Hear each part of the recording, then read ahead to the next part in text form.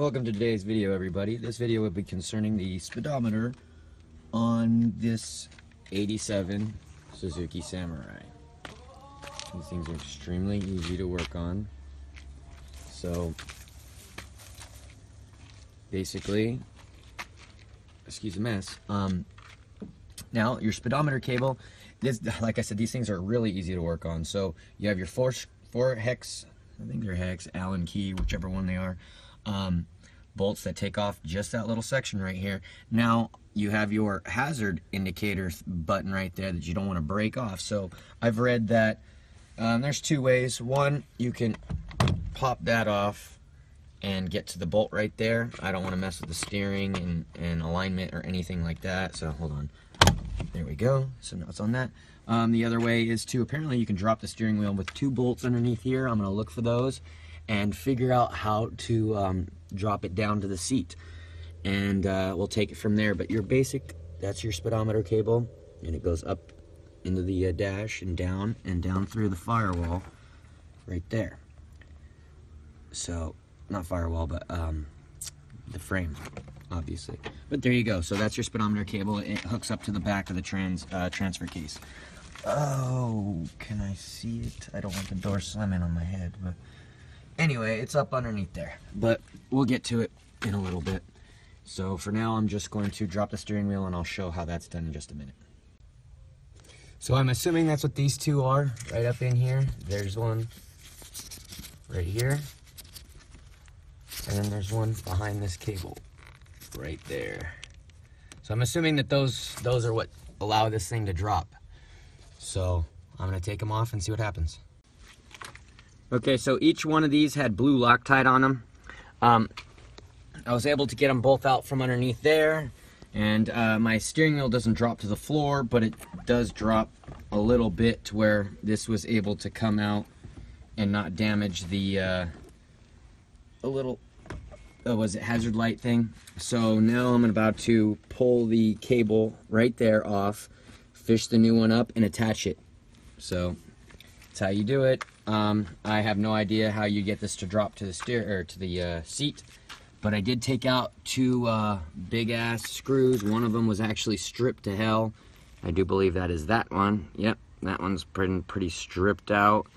The other one was good, not bad at all. Yeah, see, see, so that one was good, but had to use a giant pry or was it um, screwdriver with a. Uh, is it vice grips attached to the end to, to rotate it for leverage, plus PB Blaster for that one. So one of them came off easy, the other one would just not come off. So just letting everybody know what I had to do. Okay, it's now been removed. I just used a little screwdriver to help those clips get along off that cylinder. And um, I'm going to start pulling it down through the dash, obviously. You can see, coming down. And then, uh, you know, I have to make way for some wires, but then it's going to come through right here, down through the firewall right here, down into the, uh, the transfer case. And so um, I should unbolt it from the transfer case. Do that. Okay, so I fed the uh, new line up through the same area that it was. Just got to push that back, and you can see there's the new one right there. I haven't attached it to the uh, circle yet. I'm going to unattach the uh, original from the transfer case, feed it back throughout, and then feed the new one through, attach that one, and then attach this one last. So, uh, I'll show you how it goes. There's the cable, comes down into the side of the transfer case right here next to the rear of the transmission. It's that right there. So I'm just gonna remove this screw right here and it'll loosen it and then take it out. This 10 millimeter bolt is what lets loose the very end of the uh, of the sensor right there. The end right there. It's just this one. And that's it. You just loosen this up, pretty much take it out, and that slides right out, and then slide the new one back in, and then retighten this down. Just snug, not too tight, just snug. So this is at the end of the uh, cable that goes to the transmission side. It's easier to pull this out and attach it to the actual accepting end of that inside the transmission and then slide the sheathing over and snug into the transmission, or was it transfer case? Then just trying to slide the whole thing in with this pushed snug against it and then you trying to figure out, well, where is it? Where is it? You know what I mean? So this is probably the reason why ours didn't work. This was busted off the cable. See the cable is still, you know, it was busted off. So this one is still attached. It's already uh, inside the uh, transfer case.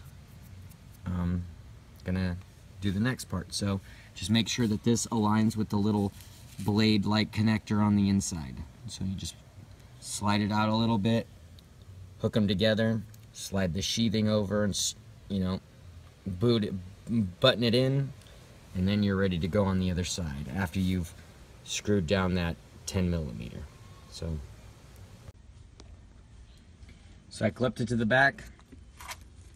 Like I said my steering wheel only moves this much now that those bolts have been undone but it's enough to allow this to get back on it and about to button it up and see if it all works